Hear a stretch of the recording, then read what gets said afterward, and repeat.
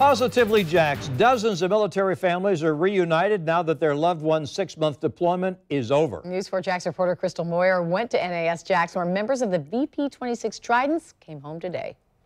It was all anticipation as families waited in the hangar for their loved ones to arrive.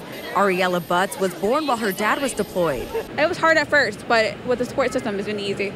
Little Ariella met her dad for the first time, and it was all smiles. It's great unbelievable, that's for sure. For some families like the Frugers, it was mom who was away. The struggle is real.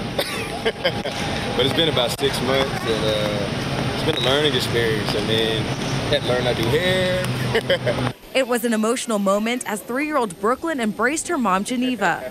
Squadron VP 26 performed a lot of firsts while they were deployed for the past six months. Like the first ever air to air refueling in Europe it's pretty awesome flying. I mean, you're uh, you know 20, 30 feet away from a KC-135, uh, taking fuel in the air, and so that's uh, it's a pretty neat thing, and it's pretty fun for the pilots.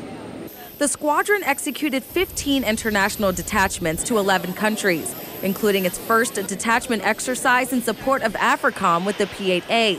These families were able to communicate using video chat, but say nothing beats the real thing. He ran right up to me and smiled. It was the best moment of my life. Over the next week, several other squadrons will be making their way back here to NAS Jax. Crystal Moyer, Channel 4 The local station.